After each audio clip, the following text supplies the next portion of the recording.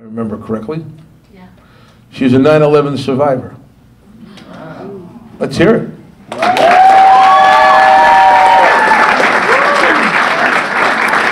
And, and I'm not sure how she found us in 2001, 2002, but she came to two conventions when we had it in Clark, and then she disappeared.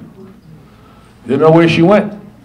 One day she called, and here she is. She's back again.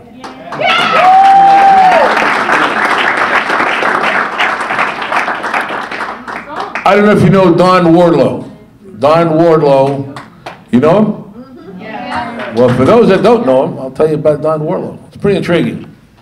Totally blind young guy. I remember meeting his guide dog Gizmo. And he, f- from 1991 to 2002, he did broad, he's a, again, he's a blind radio broadcaster. He broadcast uh, many of the games for Rowan University.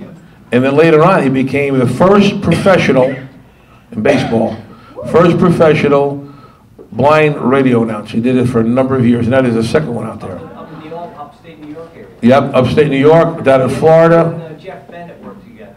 Okay, thank you. Yeah. Okay, good.